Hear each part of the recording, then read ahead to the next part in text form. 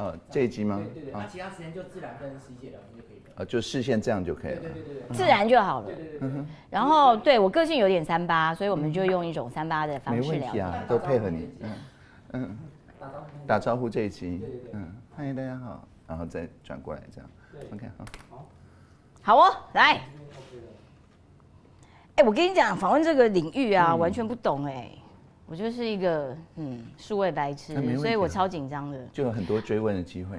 嗯，会会有很多问白痴问题的没问机会，题没问题然后你要讲到让我听得懂，我觉得九成以上的人都听得懂好啊，没问题啊。啊。OK，太好了这个要小心小心吗还是先拿下来？啊，先拿下来好了。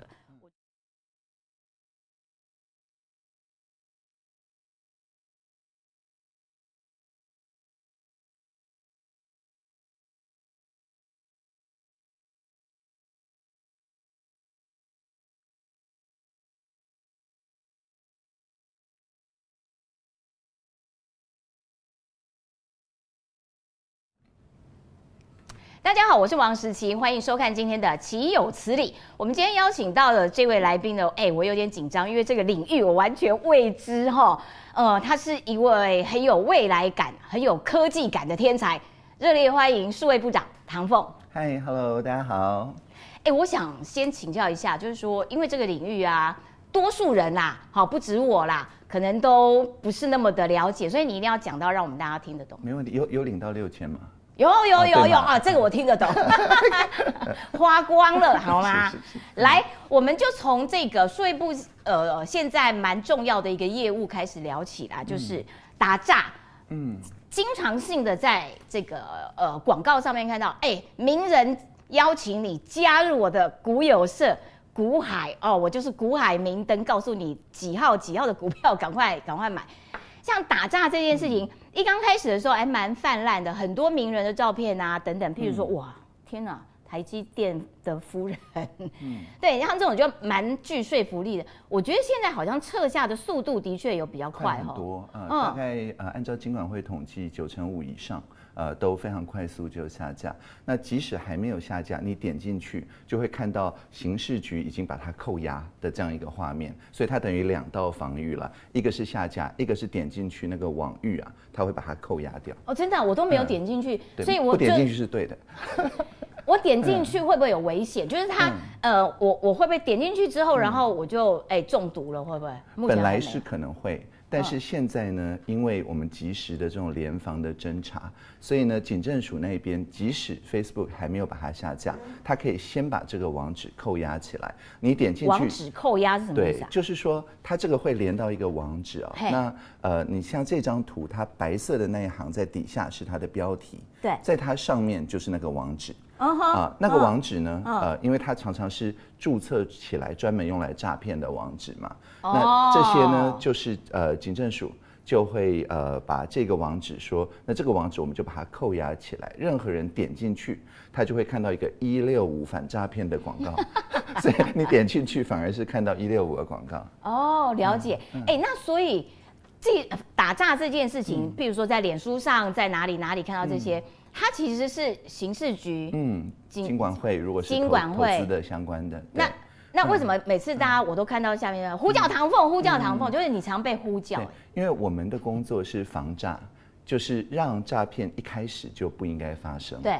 对，所以像举例来讲，像呃之前大家常常会接到一些简讯啊的这种诈对骗，对对对啊、对。甚至还有人冒充说，哎要缴契然费啊，要缴税啊，等等等等。哎、最近我还收到哎、呃对啊，嗯，那你看，我们虽然在呃之前有推出短网址，说你要看里面的网址，它是 G O V 点 T W 开头，对，可是大部分的人要去数那个网址的那个网域啊，是确实是有点难度，嗯，所以我们在下半年我们即将推出哦，就是你可以只看那个发讯的号码。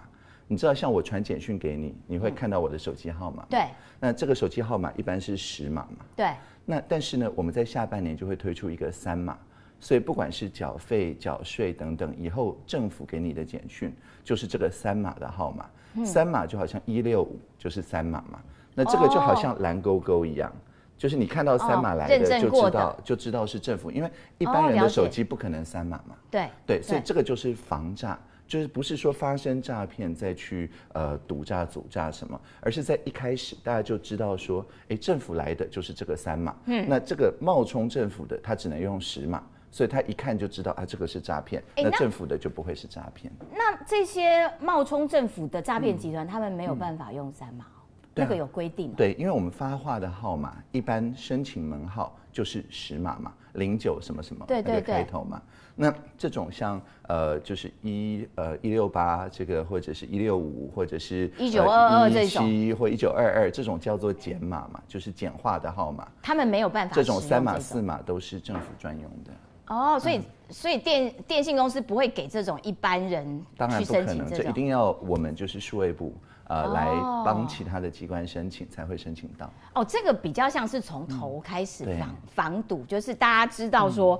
十码的呃，可能都是骗人的；嗯。三码、四码、一九二二这种一六五的才是政府的，比较是像源头。要不然我都觉得嗯。常常我们好像都是事情发生了，我们一直在后面追追追追追，啊。追的有点喘，对。有点累累的。对，所以这个概念就是防诈，在一开始就可以让大家辨别哪些是正式的账号、官方的账号，那哪些实码的，也许是在你联络人里面嘛，你手机有加对别人联络人，那实码又不是在联络部里面的，哎，那就当做诈骗了。哎、那所以打诈这件事嗯情的成绩单是如何？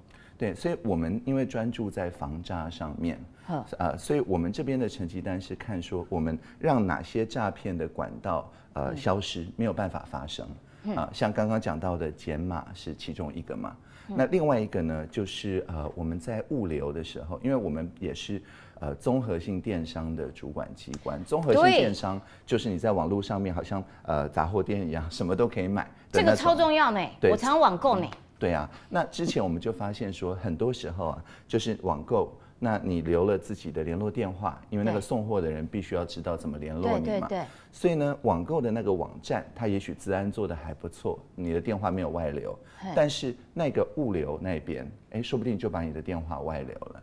也就是说，他每一次哦送货的时候，都会有不同的送货员知道你的手机号码嘛。对你手机号码也不会每天改啊。对，对所以长此以往，只要有哪一个物流的呃业者，他那边如果治安没有工做好，那攻击的人不会挑强的地方攻击，他一定是挑弱的地方攻击。所以电商的网站如果防守的好，但是物流没有防守好的话，很多时候手机号码就是从那边出去的。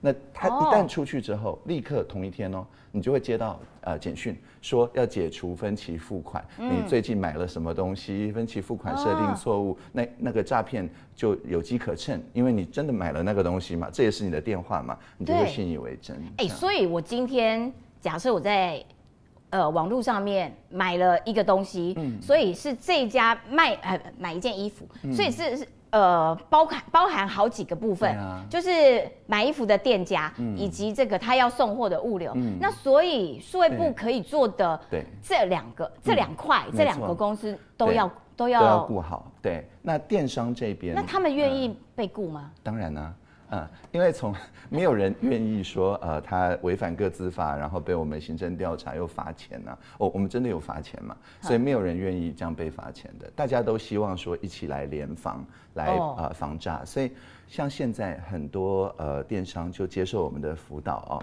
他就导入一个叫做隐码，隐码就是什么叫隐码蔽掉号码的技术。我举例啊、哦，隐哦，对隐隐藏的隐隐码，我举例，像您刚刚说在电商买了一件衣服嘛，嗯，啊，这件衣服送货到这个物流室嘛，物流室以前是会收到一张单子，是有你的电话在上面，那现在呢就没有了，现在就变成一支代表号，那这支代表号呢后面有一个井字号。啊，那这个井字号就是分机码的那个号码，嗯，后面又有一串乱码，这一串就是类似一个流水号，是你的这一单的流水号，所以本来是留你的电话零九什么什么嘛，对。现在可能就变成呃一个嗯，就是代表号，这个大家都一样的。嗯。然后呢，要一个井字号，这个井字号后面连一串一二三四五六七，这是一个乱码。好，那这个时候这个物流室啊，它打这支代表号，再加这个呃井号，他就可以联络到你，中间有一个转接。哦但是呢，等到你收到货之后，这个号码就失效了。所以从头到尾，哦你的手机号码都没有提供给这个物流室。现在已经开始做这对，件事啊。现在已经开始做这件事情。我等一下就下单试试看啊。可以啊，现在呃，某某、博客来、远石科技这些都是电商嘛，都已经导入这个服务。那之后包含大家很常用的东森啊、PC Home 啊，这些都在评估。哦，嗯所以呃，可是所有的商家他们。对因为太多了，所以他们嗯都会愿意吗？现在是从大家的开始，譬如说对 Momo 啦这种嗯 PC 还有我们在雅虎嘛，雅虎跟雅虎购物，嘛对对对对嗯对。那所以，譬如说，呃，单一品牌的这种，他们也会慢慢加入这样子的。对，没错，因为哦现在就是、呃各大电信公司现在都推推出这样子的银码的技术，因为这个转接是他们本行嘛，对，嗯那所以呢，这些我们就是促成他们做这个技术分享。那分享之后呢，不管是您刚刚提到的大的电商，还是中小型的电商，哎，就可以很容易的导入。那最好是导入到说，大家以后看到我的手机号码到那个物流师的单上，就说，哎，为什么你还没有导入？大的都导入了，这样，哦呃，慢慢变成一个社会压力。哎、那所以如果他用这个银码，然后透过转接，哎、对我就接到电话，嗯，那我的显示号码是什么？哎，你显示号码还是那个就是呃物流室或者那个电商它的代表号，哦哦所以你就知道说是、呃这家电商打给你，但是重点是你的手机没有透露给他。哦，了嗯解了解了解。好，那我大概知道。那所以，譬如说我今天网购的话，第三方支付嗯可能、呃透过一个网络上面，他就叫我输入我的信用卡号。那有的时候他会跳接到，他会转到一个嗯，一个一个收钱的。对对对对对，没错没错。这个东西叫做第三方支付嗯，然后所以他们的安全性嗯这件事情可以被控制吗？对，好，所以我们刚刚呃讨论了就是减码嘛，政府对机关的对银码就是物流式的、啊。对那我们现在在讨论第三方支付的嗯。第三方支付是这样，就是呃我们在上个月底啊，就是七月二十八号，有请呃就是主要的第三方支付的业者，大概有十家，然后跟我们的高等检察署啊、警政署、调查局、法务部，就是之前不是有很多检察官提出一些很好的一些具体看法嘛，我们就请他们来分享。那他们的讲法是这样哦，就是说第三方支付哦，它呃，您刚刚输入信用卡是一种，它还会有一个叫虚拟账号。啊，对，对，就是它会有一一段那个说你可以汇钱给这个银行的这组账号他，叫你选，哎，你要台银的还是什么银的？对，对对然后他就会给你一个很长的对号码。对对，这个序号对。那但是这个的问题是这样，就是说在以前这组虚拟号码是你是第三方支付业者，你就可以去跟银行申请，但是呢，呃，你并不需要证明说。呃，你会呃做所谓的法遵，就是遵守这个法令，去确保说，呃，每一个买家、卖家你都会做好呃你的身份识别啊等等的这些，所以就很容易变成说第三方支付出来这些虚拟账号被诈骗集团哦去利用。那我们现在的状况就是要叫做全面登录的纳管。我我听不懂？等一下，诈骗集团要怎么样拿到这个虚拟账号？虚拟账号只有我看得到啊。对，应该这样讲，就是说这个诈骗集团，它可以呃自己成立一家人头第三方支付的公司，嘿，他用这家呃他自己控制的哦第三方支付公司去申请一大堆虚拟账号，嗯，然后呢，他也可以做出一个惟妙惟肖的这样子一种呃付款的网页，嗯，去接到他的那个一页式的诈骗的那个网站。哦啊，所以就是说概念上是这样，就是说，假设我们前一关物流那边没有把守好，嗯。那呃，就是你的手机号码外泄了。那这个时候呢，因为他知道你买了衣服嘛，也知道说，呃，你的衣服可能是呃几月几号要送到，那他只要在那个几月几号之前给你一个简讯，那个简讯说，哎、你最近买了一件衣服，几月几号送到，但是不小心分期付款设定错误，嗯。你要解除分期付款，不然的话你会多付多少多少钱，对然后付一个网址，那你如果点了那个网址，那你就中招了嘛哼。那这个时候他就会告诉你说，哎，那这个这一单已经解除啦，那你要重新下单啊等等。但他这时候给你的虚拟账号就是他自己的，就不是这这卖衣服的了。哦，啊，那但是你这样子汇款过去之后，因为虚拟账号它很快就可以换掉嘛，嗯，哎，所以在追查上面也就比较不那么容易，嗯然后就变成是说，哎，那你钱已经汇过去了，对。也透过虚拟账号跑到他真的账号了，但因为这个虚拟账号不见了。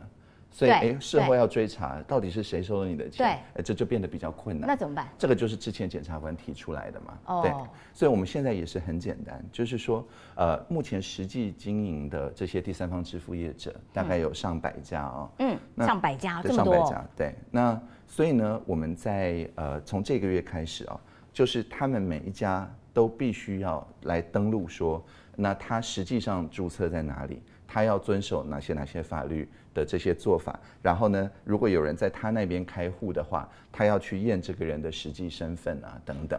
那就说他自己也要有一个像呃银行一样的那样子去看哪些客户可以申请这些账号，不能给诈骗集团了。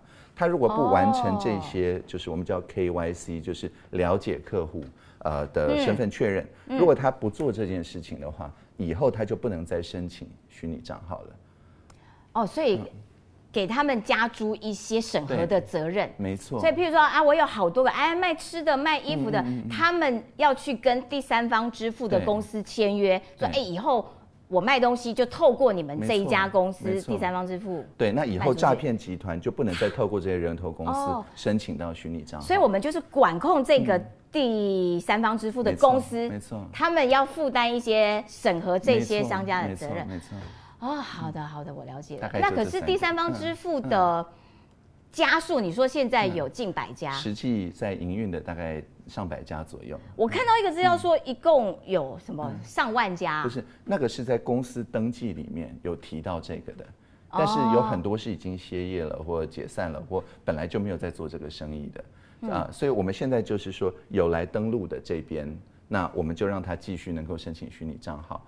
那其他这些已经歇业的，或说不定真的已经变成人头，就是变成诈骗集团把它拿嗯。拿去用的，这些以后就不能再用虚拟账号了。哦，了解了嗯。解，所以就变成可以纳管，对，可以规范，没错，然后让他们有责任，对。就是共同来补足一些政府可能呃手伸不进去的那些地方，对对对，就是让它来变成联防的一部分了。嗯。那在这里面，就是呃，我们的就是邀来的这些检察官啊，也包含台高检啊，对于我们这样子的做法都很肯定。哎、那检方啊，嗯。就是他们都会碰到很多奇奇怪怪的、各式各样的诈骗的手法嘛。我刚刚听你的秘书说，呃，有一种很奇怪 就是哇哦，很厉害的那种诈骗集团，就是说对我卖东西给第二个人，第二个人应该要汇款，可是第三个人是诈骗集团，第三个人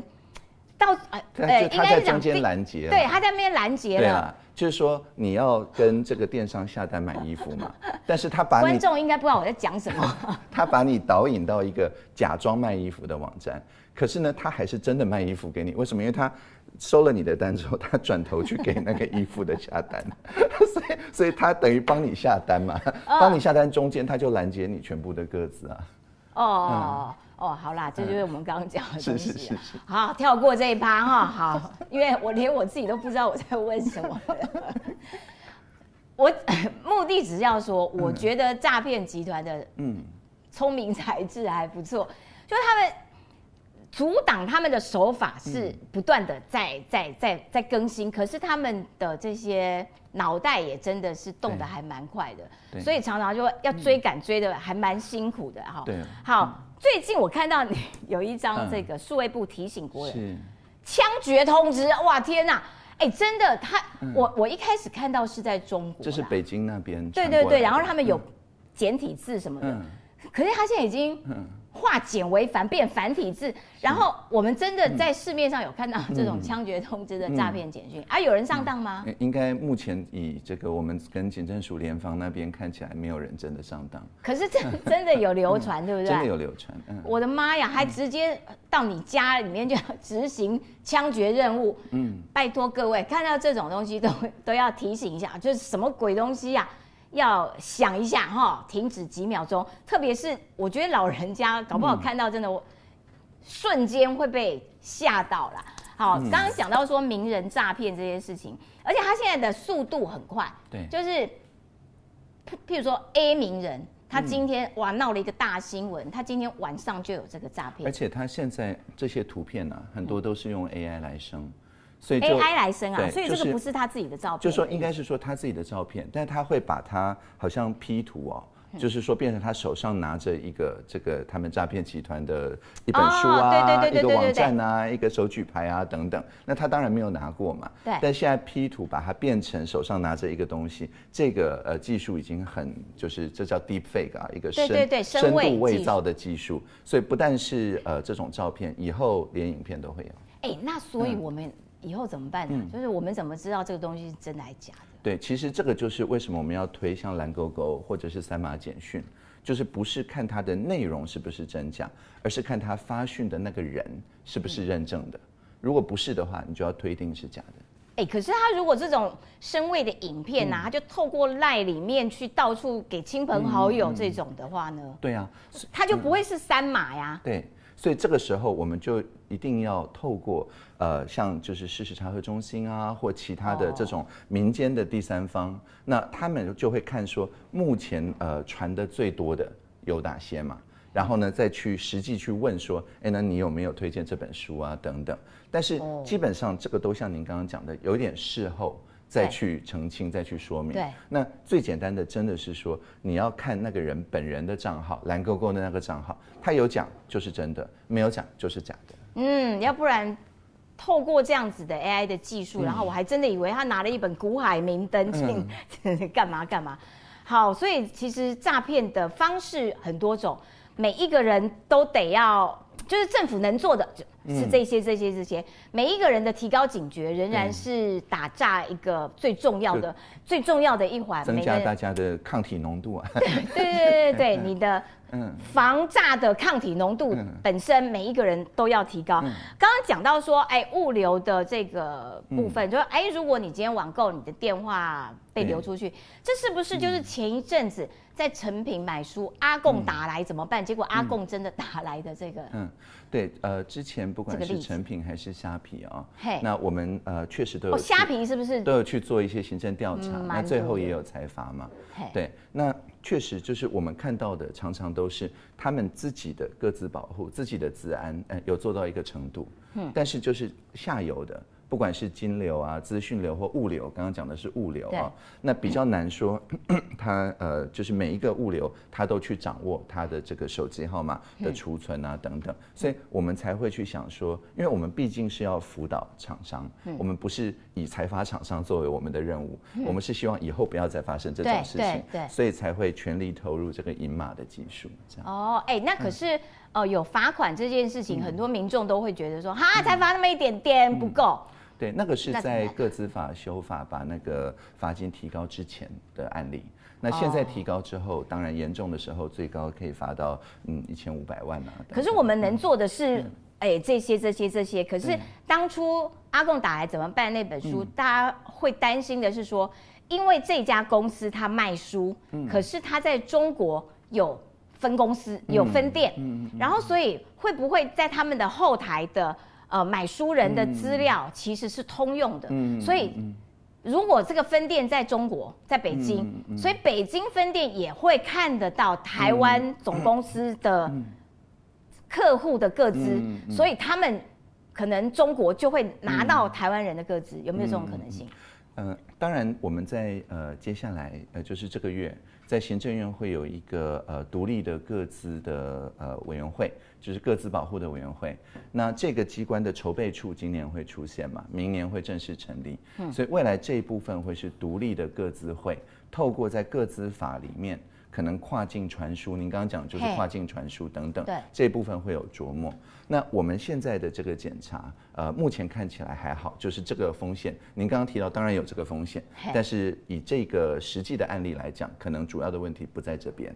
对哦，那但是确实这是一个系统性的问题，就是各自的跨境，如果是传输到一些境外的一些敌对势力去运用的话，那这确实是一个问题。所以这个部分也牵涉到未来的独立各自会的工作。哎那独这个筹备处这个月就会出现。独立各自会是在处理说台湾人的个资嗯对。不要留到不要到流到就是境外敌的对势力。的势力上，这是当然一个主要的工作。那其他还有就是全面来检讨各资法的修法，好比像说现在很多厂商在你申请会员的时候，他可能只是需要你的联络方式，对。但是却需要你填一大堆别的个资。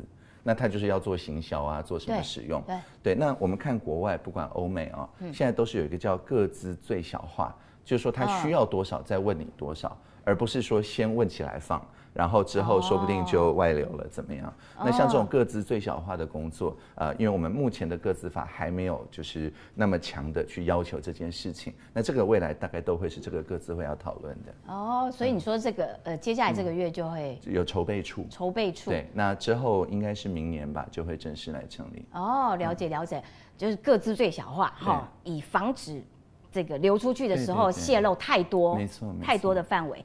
好，然后我想请问一下数位部，嗯，成立多久？嗯，呃，一快一年了，快一年了。嗯，然后所以在嗯这个明年的预算的编列，嗯是不是数位部的预算？嗯。嗯，说这个部分有没有什么特别的地方？有，呃，我们呃在去年呢、嗯。呃，在刚筹备的时候，我们就提出一个概念，嗯。叫做公共建设，数位的公共建设。嗯那这个在以前，公共建设是看得见、摸得着，水泥做的造桥铺路，对这些叫公共建设嘛。捷运，对，捷运，对，那就大家都可以用啊。对那但是呢，以前数位的，就是软体的啊、资料的这些呢，就比较不会被当成公共建设。那所以呢，到了今年，我们就跟国发会啊、主计总处啊有非常多讨论，他们也同意说，像发六千这个就比较像公共建设。为什么呢？因为呃，你有领到六千吗？有啊那对，那在花光了 对，在之前呢，呃，同一套城市，其实我们这是第三次用了。第一次用的时候是帮教育部做孩童家庭防疫补贴，家里有嗯小孩的可以每个小孩领一万块。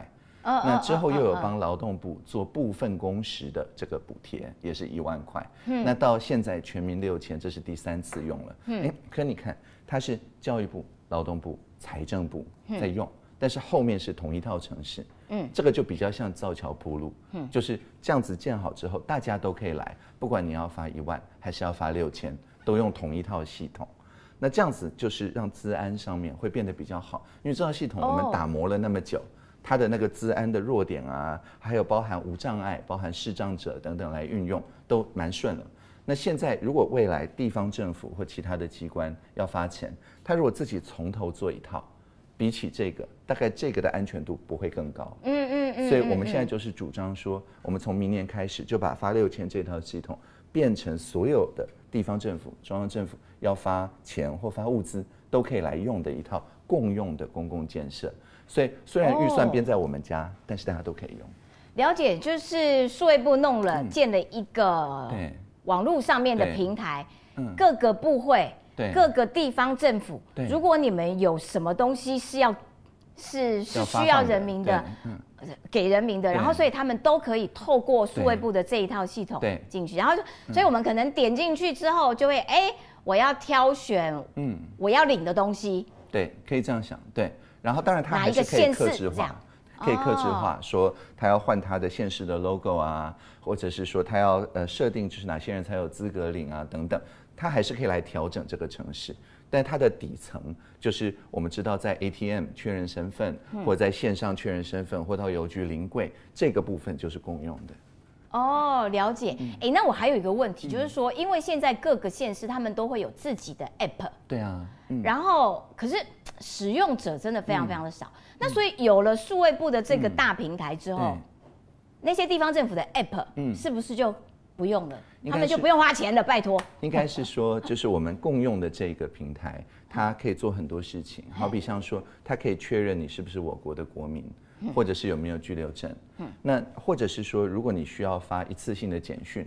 去确认说，他说这是他的手机，这真的是他的手机。现在不是常常有注册的时候，他会发一个代码到你的手机，你要输入才证明这个手机号码真的是你的，等等嗯。这些确实以前地方政府也好，其他部会也好，都要自己建制嘛。哈，那当然就有一些各自或者治安方面要注意的部分好。但现在呢，因为像刚刚讲那个三码的减码，是一个所有人共用的发简讯的平台。对，那后面的这个身份确认也是共用的，所以就变成是说，以后地方政府以后他自己加一个网站或自己做一个 App 的时候，里面最关键的这些跟治安跟隐私相关的部分，它可以直接来用我们的，就比较不会有漏洞，这是我们的初衷。哦。对，哦，好，因为我刚刚讲的那个 app 就是说，呃，譬如说一个呃市政府，它各个局处都要自己弄一个 app，、嗯嗯嗯，然后它有一些是哎活动通知，就是通知你有、有什么好康的活动啊，或者是哪一些呃资讯类的东西，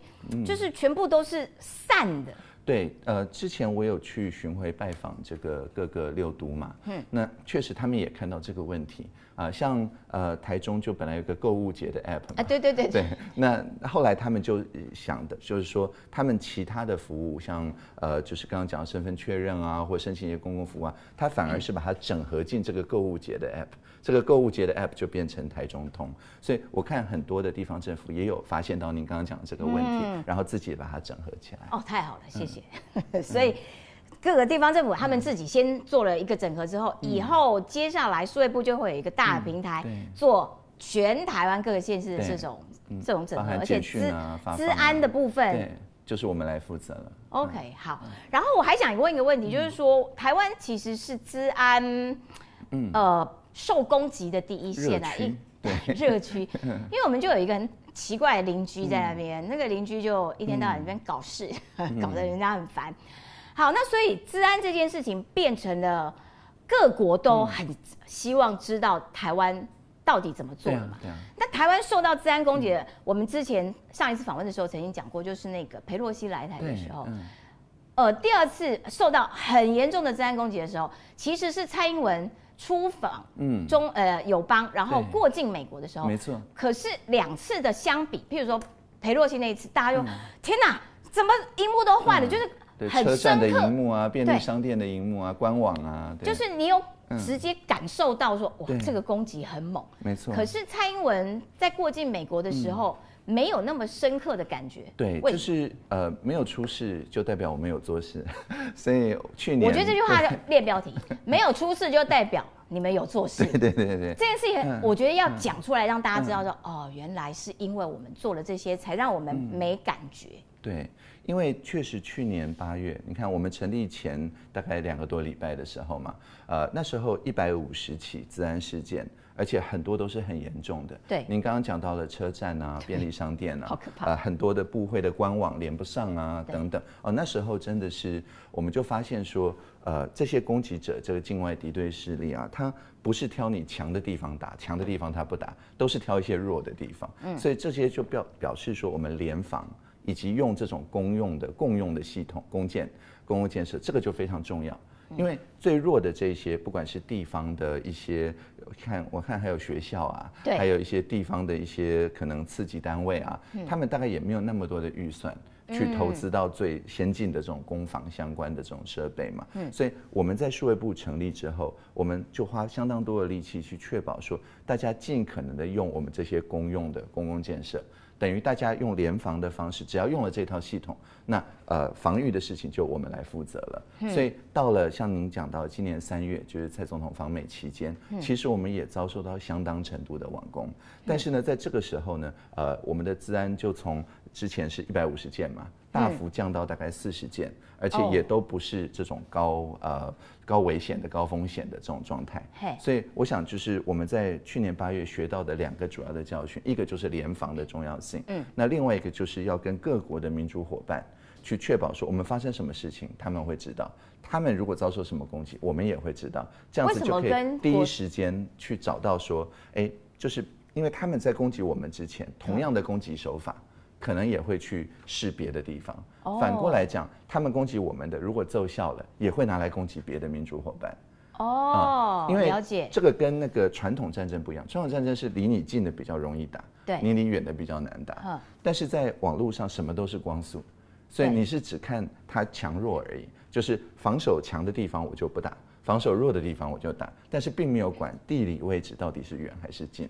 哦，嗯了解，所以他也会去攻击其他国家的某一个地方的时候，哎没错。我们透过联防，我们就知道说，哦，他会打那边，所以我们这边也要对，而且拉近联防的那个，对，而且像呃蔡总统方面期间，我们这边呢，因为我们都已经切换到所谓的三重防卫，就好像一个三层的铁门一样嘛。所以你就是举例来说，像我要签公文的时候，那我第一层防卫是我的手机上面会验这是我的指纹。那我指纹存在我的手机里，嗯，那一定要是我的指纹才能够签公文嘛，这是第一重防卫，就是我的指纹。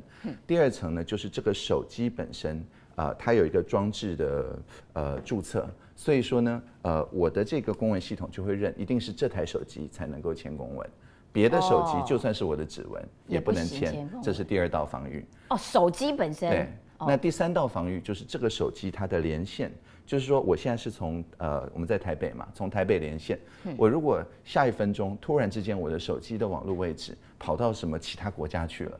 那就表示说，哎，我这个手机的 SIM 卡，就是它的电信商可能已经被害入了嘛。嗯所以如果我的连线行为跟以前差太多，嗯哎，那它也会把它防御住。嗯，所以就是我的呃生物特征、我的设备、我的行为，就好像一个三重防盗门一样。哦了解了解了对解，，那这样子的话，攻击者就算打破了其中一扇门，还有另外两扇把它挡住。而且这个时候，当他在试着好像那个防盗门，你第一层被钻了嘛，第二层、第三层他还在钻的时候，你不但让他延迟他这个攻击的这个程序，而且这个时候你就可以通知所有其他联防的伙伴说，哎，这道门被打穿了，哦你如果再用这道门，现在赶快去升级。这样，哦所以它就可以达到一个不但是能够预警，而且也可以联防的效果。哎、那所以包呃呃裴洛西来的那个时候，嗯譬如说铁路的车站，就是小车站，就外面广告，或者是对便利商店，那所以他们也他们也被我们拉进，被政府拉进这个系统，他们一起联防哦。没错，就是哎、那商家一大堆，我怎么知道？对这还有没有漏网之鱼？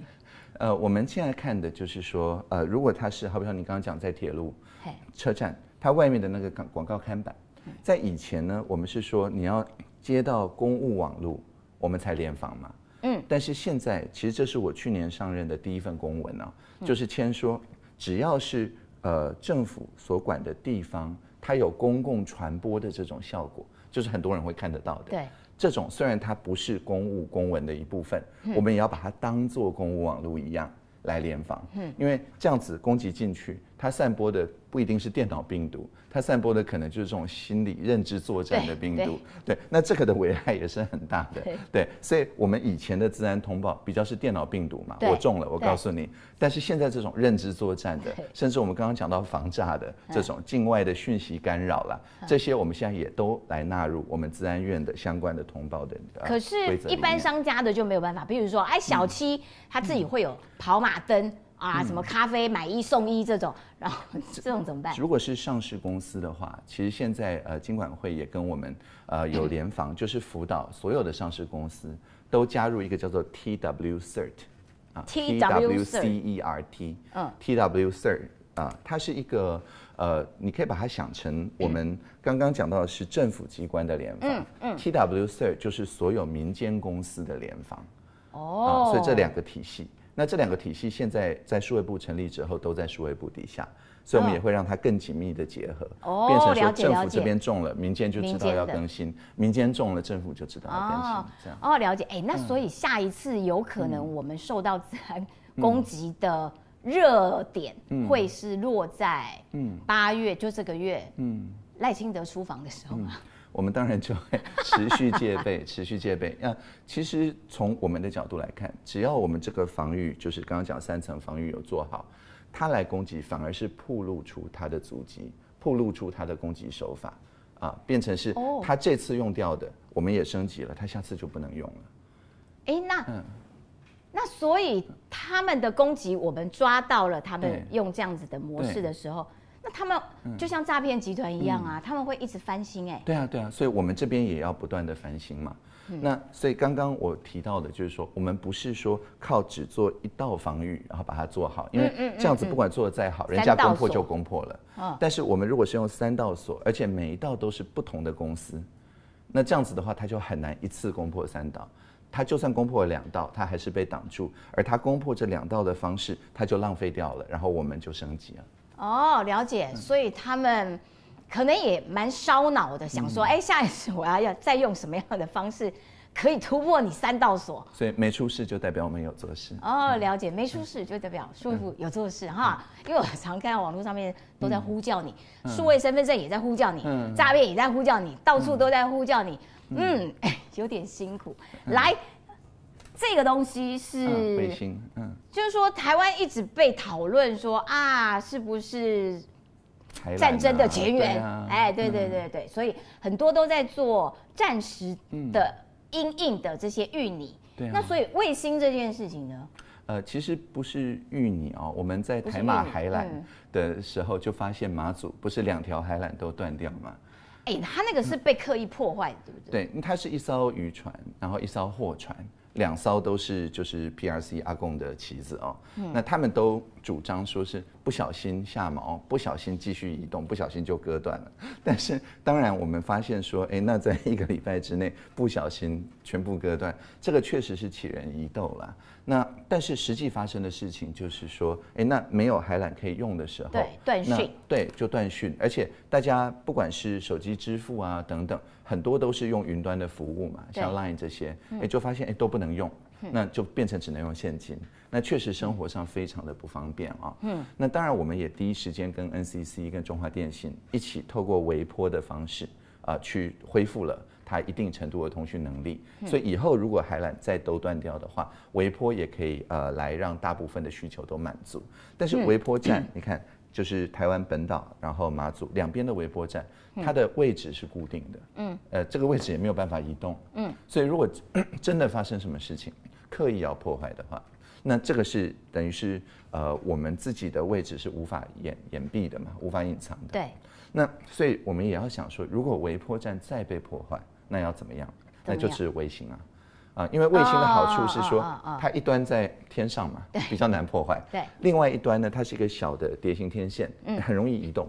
所以，我们如果有很多个这种接收的设备，每个又很容易移动的话，哎，那要破坏就非常的困难。所以一个卫星可以有好几个接收的小碟子。我们明年呃，大概就会在呃全台湾大概七百多个点都会有这样的碟子。哎，可是我们刚刚讲到的是马祖海缆，就是说，嗯如果是战时的时候、战争时的时候，电讯的这个防止被破坏是一个很大的重点吧？嗯对那所以那个卫星，好，我们现在讲的是马祖电缆被呃嗯破坏。那如果是战争时候呢？我们的卫星够涵盖全台吗？对，像呃，我有去英国嘛，对对对对对对，我就是想知道去英国到底干嘛？嗯，我们我们有跟一家叫做 OneWeb 啊、来谈。嗯那 OneWeb 大家可能知道，英国政府是有所谓的特别股、黄金股，就是说 OneWeb 做的所有的这些决策，英国政府是有否决权的。所以它等于是英国政府，它可以实质的去看说，OneWeb 它只跟它信任的这种供应链的伙伴呢、来合作。那为什么这家公司人这么好，嗯要给英国政府否决权啊？对，因为他之前就呃，因为经营的过程里面出现一些资金调度的问题嘛。哦哦 OK，哦哦哦所以后来英国政府就出了钱，这样。哦，难怪。对，好，那在这家公司告诉我的资讯里面哦，就是他呃，我一去他就给我看一个他们卫星的涵盖图，那我们就发现马祖已经在里面了，就是它目前就是基隆以北，它其实都已经收得到它的讯号，那他就告诉我说，到了年底，全台湾都可以收得到他们的讯号。那就变成是您刚刚讲到的，即使我们连到国际的海缆，在战争的时候或非常大的地震，像二零零六年好像是不是？那附近也有一个类似的地震去破坏掉海缆的状况。所以无论是天灾还是战争的灾害，反正只要我们连外的频宽受阻的时候，诶那 OneWeb 到今年年底它就可以覆盖全台湾。哎，那所以马斯克的那个他在乌克兰战争的时候，不是提供乌克兰这个卫星的通讯啊什么的？嗯，马斯克台湾没有要跟他合作，嗯，他的叫做 Starlink。对，对星链我们目前谈的是呃呃 OneWeb 嘛，然后对还有另外一家叫做 SES，那也是欧洲的。嘿，好，那这两家是我们目前在验证测试上面，接下来就会来测试的。但是当然，只要符合我们自安、国安相关的要求，我们是越多越好。所以除了 Starlink 之外，之后还有 Amazon，呃，它有一个叫做嗯嗯 Kuiper，、啊，还有 Telesat，还有好几个。那就是随着时间过去，他们的卫星就会越来越多，就越来越能够覆盖台湾，所以我们的选项也会从现在两家 OneWeb 跟 SES 慢慢嗯。变成三家、四家、五家、六家。嗯。那而且这个没有排挤效应，就是我同一个地方，我的这个卫星的碟子，我可以想办法去收到好多个不同的卫星的公司的讯号。所以这七百个点，每一个我们在测试的时候，都希望它可以用切换的，或者是甚至同时使用，就是先用这个，这个如果坏掉了，我再用一个，或者是说我一下子就同时接受好几个不同卫星的讯号。那这样发生问题的时候，特别是战争的时候，对那攻击者就必须要把这些全部都瘫痪掉，这个就更困难。哦，所以就是每一家都对对台湾来说是一个安全上面的就多多保障，就是对，就有很多重的安全保障对对对。嗯这个东西就叫做数位韧性嘛，对，这个是我们数位韧性里面的通讯韧性。通讯韧性对。好，因为我觉得数位韧性这件事情，一般人不是那么的能够理解。对，韧性就是你被打击了，那但是呢，快速的恢复。嗯那就是刚刚讲到没出事代表有做事，而且呢，再从这个恢复的过程里面来强化之后的防御。这样那我们自己的卫星呢？我们不是自己也在发射卫星有？TASA 就是我们的那个太空中心嘛，也有自己的。不过就像刚刚讲到的，那个都属于说可能明年后年会有越来越多的量能。我们今年如果就要测试验证的话，目前还是以 SES 跟 OneWeb 为主。哦，所以接下来我们自己越来越多卫星的时候，对。我们也可以自己对，那同样的就是越多越好，多多益善，不会说我们有了自己的，我们就不用英国的，哦。也不会说用英国的就不用自己的，是都要用。那你到英国去还有跟他们的官员见面，可是不能讲，对不对？嗯，当然就是有看他写的一本书嘛，我有贴到 推特上面。对你每次都嗯说我有看他的书，但是但是因为大家想知道的不止如此就是说，毕竟呃是一个呃外交上面的突破嗯啦，可以这样讲。呃，当然就是呃，我们也有看到就是呃，中共方面有一些抗议嘛，呃，哎、不过他们常常在抗议，他们不抗议也很奇怪啊。路透嗯社说这打破了外交的惯例，感觉上也是一次不错的成绩啊。对，呃，我想是这样子，就是、呃，像这样子安全的事物哦，嗯，在以前大家还不会觉得说跟台湾联防是非常非常重要，但是在俄罗斯入侵乌克兰之后，啊、整个欧洲都觉得，他们都发现说，哎，原来不是说呃地理上面近的才是朋友啊，那价值近的更是朋友啊，因为我们跟他们治安方面的联防，我们都是民主的制度嘛，嗯。那所以呢，他们想要瓦解民主制度的这些攻击，我们讨论了很多嘛，啊，包含诈骗啊，对。包含一些讯息的干扰攻势啊，包含在快要选举的时候，呃，去散播一些跟候选人相关的一些声位的影音呢、这些是所有有民主制度的国家都会碰到共通的威胁。所以，与其说被哎，各个其他国家也有，对，每一个都有。像这种刚刚讲到的 AI 声位啊，就是合成哪一本书啊，或者是合成的，甚至整支影片啊哼。现在大家都认为说，到了明年，因为很多民主国家都是明年选举嘛，包含我们。对，那这个就是大家现在最热门的题目，要怎么样子去确保说，随便谁都可以随便合成声位影音的情况下，民主制度还可以继续运作。这个是我去英国，他们有个 AI 高峰会，大家都在讨论这个题目。那大家有结论吗？有啊，就是蓝勾勾嘛，就是确保说我们要去认发讯的那个人。哎、那所以如果以后候选人自己嗯被、呃，就是人家造假了一个候、总统候选人脸，对对换脸的，那嗯那那那就没办法了。对啊，所以我们就要现在就要让大家知道说，这种换脸、换声音的技术现在非常的普及了。所以，除非就是认明他的那个蓝勾勾的账号是他 PO 的，或者是政府的话是那个三码简讯发给你的，不然不管再惟妙惟肖、再逼真，全部都当成是诈骗，嗯我有蓝勾勾，对吗？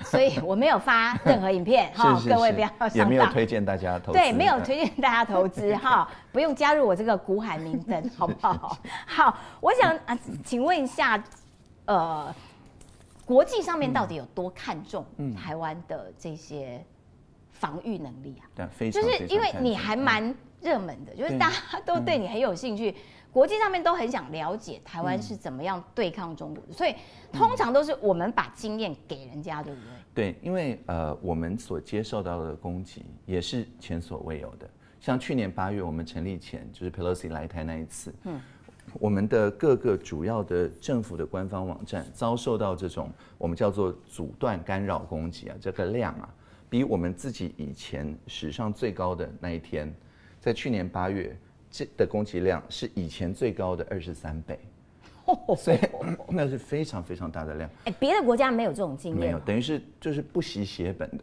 在想要瘫痪或干扰，所以我们是全、全球第一名就对了。就是对方愿意投入的资源 远大于其他一般的犯罪集团或诈骗集团，这并不值得骄傲，好吗？但是也是表示说，我们这样子所测试出来的防御的设备，这个英文叫 battle tested，就是经过战、经过实际的对战验证的。哦，那这个大家都很愿意学习。哎，那大家都要从我们这边学，他们到底给我们什么？反过来讲，像我也有去以色列，或像我之前呃也有去东欧嘛，包含立陶宛，还有它旁边爱沙尼亚，嗯，这些也是在之前。有受到他们的邻居啊，就不是中共了啦。对对。但是也是有类似这样子，就是瘫痪掉他们的通讯，瘫痪掉他们的网站等等。那所以这些东欧的或者是以色列，他们也是同样的，就是在对战当中把他们的呃治安的产业变成国际知名嘛。嗯。特别是以色列，大家就知道说以色列出品的治安。绝对是实战测试过的，这样，所以我们现在 以色列出品质的 品质保证，对对对，所以这两年也有这种感觉，就是台湾出品品质保证，因为我们所遭到的攻击量已经不亚于以色列或东欧的量。哦，了解了，哇，大家，我觉得你很抢手，大家都 疯抢你，希望可以知道到底台湾用什么样的方法在挡御这些呃攻击性这么强的这个哈。对。那可是另外一个问题是抖音。抖音是一个问题吧，因为它的确常常踩在一条界限上，然后呢，哎，它有很多让年轻人想要模仿、想要去挑战的东西，可是它有很大一个部分其实是假的讯息。那对，可是有一些地方它是禁掉了抖音，甚至是不止官方的，美国有一些州它是嗯，Montana 啊，明年开始是全面禁用，对，全面禁用，可是台湾没有办法。我们自己是二零一九年就把它当做所谓的危害产品，危害危害就是危害国家自通安全的产品。嗯，那就像刚刚讲到这些境外的势力，嗯，它当然也会透过它能够实质控制的民间公司来进行治安上面的攻击，所以不是只针对抖音。二零一九年的时候，抖音用的人也还没有现在这么多，而是所有的这些境外的这些厂牌。或者是虽然不是注册在中共那边，但是我们可以证明它实质控制的这些，那这些大概都是危害产品。所以，我们从二零一九年开始，就逐步的让所有的公务机关知道说不能够去使用啊。二零二零、二零二一、二二，我们都呃不断的在更新这样子的危害产品啊。那但是呢，这里面就有一个重点，就是说我们所有的官方的这些账号。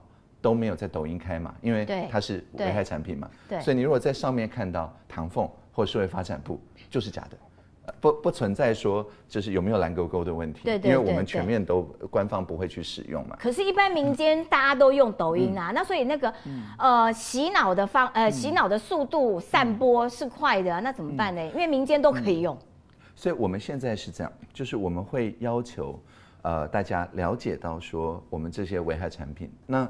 如果它是呃像刚刚讲到在车站外面的看板，就具有传播功能的，像我们政府有时候也会办一些活动啊，传播等等。那当然我们自己都不用，但这只是第一步，而且这个我们也是领先全球嘛，我们好几年前就不用了，所以现在要进一步让大家知道我们为什么不用，啊，那就是因为说像这样子，就是他们实质控制的，就算在平常的时候，他们手不伸进去。但是只要一紧张，或者是状况一升高，他随时可以透过这些手段啊，变成是说他在手机里面推送各种各样子的讯息。那又因为他平常就已经知道说你比较喜欢看什么，呃，就是样子的影片啊，喜欢配怎么样子的音乐等等。所以在之后呢，如果声位影音就是更加泛滥的时候，他甚至还可以帮你量身打造怎么样比较有可能说服你。的这样的讯息，所以这确实是一个可能的危害的一个方式。嗯，那当然，一方面如果真的发生这种事情，我们要留着就是紧急处理的这种能力，那但是在现在可能就要让大家知道说，哎，这个为什么把它当做危害产品？后面不是只是说它平常这些影音，而是它随时在状况升高的时候，可能会被拿来当做讯息攻势、境外讯息攻势的一个战场。哎、可是我觉得这样子有点嗯。弱。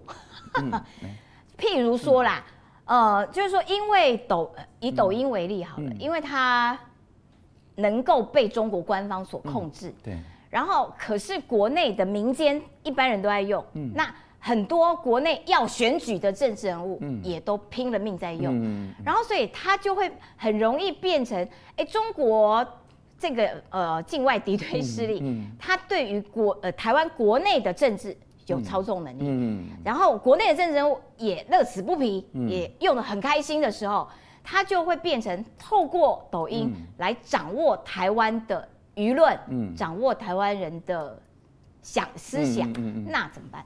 是呃，应该这样讲，就是说我们刚刚所讲这个危害产品，它是全面的，所以不止抖音嘛，也包含小红书啊等等。对对，小红书所以这样子全面的 让大家知道，就是有这样子的危害，这是一件事。可是大家都还那我们看用蒙塔纳或其他的地方或印度，如果是要再做更进一步的限制的话，那个就是法律保留，就是必须要有一个相应的法律那我来做这们会有吗件事情。呃，当然这个就是我们最近呃也有在盘点啊，就是资通安全法的修法。那我们目前的这个危害产品限制公部门使用，也是按照我们治安法的这个脉络。嗯，那确实各界现在对于我们治安法即将要这个预告开始修法嘛，确实有一些这种想法，就是那危害产品是不是现在公部门关键基础设施不用，那是不是可以更进一步，除了有传播力的公共设施之外，也许公部门呃自己出钱办的活动啊，或者出钱的研究啊，那您您这边讲的也有啊，也有人说那校园里面呢，或甚至全面呢，就是说这不是呃非黑即白，这一个光谱嘛。就是说，到底要呃，就是管到什么状态？那这个因为是法律保留，所以我想很多都是要尊重立法委员的想法。所以我们这边会做的，就是我们先把这些不同的想法都盘点起来。那等到治安法要修法的时候，我们就在立法院来进行讨论。我觉得印度蛮猛的，嗯我觉得 印度说收就收，不准你进来投资，我就不准你进来投资。我觉得印度在这这两年的转变，让嗯人真的是、哇。跑得蛮前面的。好，我还想请问一个问题，就是刚刚我们一直提到 AI 啦，对就是说现在有电视台用 AI 主播在播气象，好，那他当然就是还是照稿念，但是这件事情会不会到最后人类发展出这种 AI，然后到最后 AI 回过头来控制人类，因为它其实都是假的，可是我们真的不会知道它是假的，因为那个 AI 气象是吧？呃呃，主播播气象，它好美哦。对可以省掉化妆的时间。对，就是人创造了这个东西，这个东西回过头来控制了人类，嗯嗯。怎么办？我想这里面呃，我们之前呢、就有注意到，特别是您刚刚讲到的合成影音啦的这一点，所以合成影音不管是用来诈骗，还是用来呃这个网络上面合成一些色情的这个照片嗯或者影片呢、或者是干预选举啊，这些嗯其实都已经有修法，也都三读通过了。啊，所以这些就是对社会造成立即危害的，这个我想在立法院是非常快速的来处理。那您刚刚讲的是一个比较大的、一个比较有点中程、长程的一个状况，就是如果我们现在不是只是用 AI 来报气象，而是甚至就是以后决策性质的事情也交给 AI 的话，嗯，那这样子的话会不会对我们整个社会造成危害嘛？对，那我们现在的想法是这样，就是这种生成式的 AI 啊。它我们把它当做一个参考，但是呢，不能够去直接让它代替我们来下判断，因为它是按照以前的经验去推敲嘛。但是新的事情发生的时候，不一定都要套以前的经验。嗯，所以我们如果是一味的去说啊，那我们都用 AI 系统来帮我们下判断，那发生新的事情的时候，他用旧有的偏见去做判断，反而是强化以前的偏见。嗯，所以呃，国科会呃最近也有预告嘛，一个公部门怎么使用这些 AI 的一个指引。Chat GPT 对，生成式 AI 的指引，那里面很重要的一点就是不能让它来代替我们公务员下判断，最多只能参考。那还有就是说，这种在云端的这些呃这些 AI 公司啊等等，那我们也不能够把人民给我们的一些呃各资啊或者一些公务上的机密啊就交出去。啊，其实像我自己啊，嗯呃，跑这种生成式 AI，、我大部分都是在我自己这台笔电里面跑。嗯因为生成式的 AI 不需要那种云端的设备，它其实用笔电也可以跑。所以在这个笔电里面自己跑，就比较不会有我想到一半的东西，我传到云端，可能用来训练哦下一代的 AI 这样的问题。所以我想我自己的想法是，未来就会像个人电脑或手机一样，就是很多跟你相关的事情，这个是一个你的辅助的一个个人电脑或个人的 AI。但这个个人 AI 不会因为这样子就泄露你的个资啊、隐私啊、机密啊，去给训练他的那个公司。那这样子个人就比较有掌控力，而且他所给你的讯息或者是建议什么，你也不一定要照单全收嘛，就把它当做一个类似呃 AI 秘书这样子。哦，那是不是因为你比较厉嗯害？因为因为感觉上你可以控制那个范围，嗯对但是一般人可以这样子控制这些范围吗呀？也可以啊，嗯，也可以啊。就是在自己的电脑上面对，没有说啊把它丢到云端上面去，然后现在大部叫分 Chat 对 GPT 帮我写一个讲稿出来。现在大部分的人，呃，用云端是因为它很方便，你信用卡刷下去就有了。对，那但他的问题就是说，任何人问他同一个问题，他都给差不多的回答。嗯嗯，所以他本来不管有什么偏见，他等于是强化这些偏见。嗯嗯嗯那但是呢，我们个人电脑上面就不是这样嘛。哦每个人会装自己喜欢用的 app，每个人会用不同的方法去克制化。所以像我在用这一台的时候，它就是用我自己想要呃调整它的方式，变成是用我的口气、我的想法等等来做判断。所以你会用这个对帮你写讲稿吗？呃，会甚至还帮我就是写回 email 的草稿，啊、哦就是 email 过来，那大概要怎么回信，怎么样，跟我以前的口吻比较像，这边会产生一个草稿，当然我还会看过，还会编辑，然后再呃写出去。可是像这种来的 email，这个就是属于呃有些可能是有其他人的个资或机密，那这种就不适合放到 ChatGPT 去，哦，了解。所以其实你还蛮常使用的哦，蛮蛮常使用的。嗯哦，了解。好，最后一个问题，我想请问，因为我看到一篇报道，他把你跟那个日本的数位大臣做了一个比较，就是说，嗯，你是天才型的人，你很擅长解决问题，你碰到一个问题的时候，你就提出解决方法。对啊。但是把你放在一个政府的架构里面，一个一个这么庞大的行政机别是现在负，责治安，对，对对对，所以我有做事的政绩就是没出事，这跟以前不一样。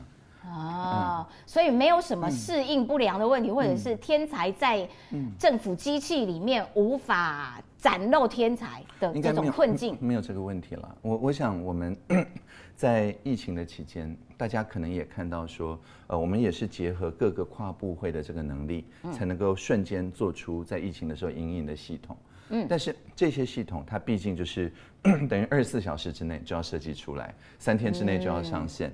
所以当然在呃不管是各自啊、自然、隐私或者无障碍这些部分，我们当然是已经用尽全力。但是呢，它要变成公共建设，让其他人来用，这段就不一定在那个时候能够做到那么好。哦都是哦用完了，那就呃疫情状况解除了，那按照以前的采购的那个就就就停了嘛。但我是觉得这样会蛮可惜的。对所以我们才去把疫情期间的那些，不管三千呐、五千呐，就三倍券、五倍券呐，或者是一万呐、就是发孩童嗯防疫补贴这些系统，不是说疫情过后就呃把它就丢掉了对，把它丢掉，这样太可惜了。而是把它变成是公共建设。嗯，所以我自己的工作，因为在当时这些大概我都有参与设计，甚至有一些发明嘛。那但现在把它变成公共建设，我自己是觉得这是我擅长的工作。嗯，只是说因为治安是最重要的，所以没出事呢，哎，是我没有做事，但是能见度不一定像以前那么高。哦，了解。好的，时间到了，但是我有一个结论想要做，就是有人跟我讲过说，其实数位就呃数位部就像是你家门口的下水道，嗯，然后呢，他没事的时候是因为有人。平常就有在清淤，平常就有保持下水道的通畅，所以台风天来了，或者是这个什么土石流来了，它还能够保持运作，就表示数数位部平常每天都在维护。我觉得这比喻还蛮好的，嗯，跟大家分享。今天非常感谢唐谢谢风部长来到现场，谢谢你主持。人，谢谢，谢谢，拜拜。